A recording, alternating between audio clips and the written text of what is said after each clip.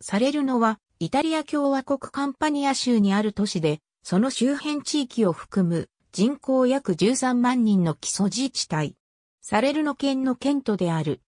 ティレニア海に面した古い歴史を持つ港湾都市で中世にはヨーロッパ最古の医科大学であるサレルノ医学校が開設された。ティレニア海に面し、アマルフィ海岸とソレント半島の付け根のサレルノ湾に位置する。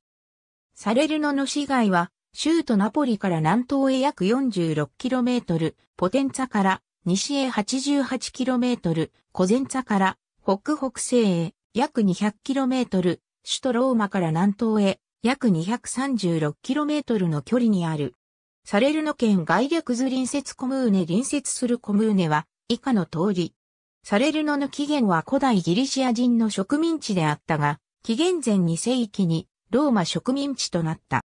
9世紀にはランゴバルド人によりサレルノ公国が成立した後、1077年にはノルマン人傭兵であるロベール・ギスカールの支配下に入り、オートビル朝の下で経済的な繁栄を遂げた。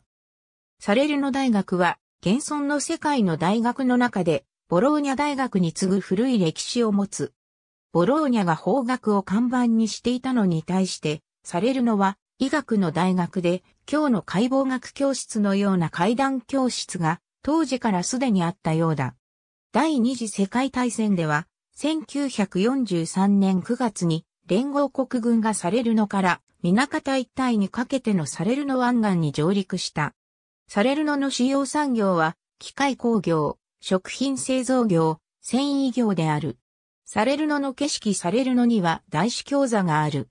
主要な建築物として、ノルマン人支配時代のアレキ城、等で有名な大聖堂がある。大聖堂にはグレゴリオ7世の墓所が置かれている。ありがとうございます。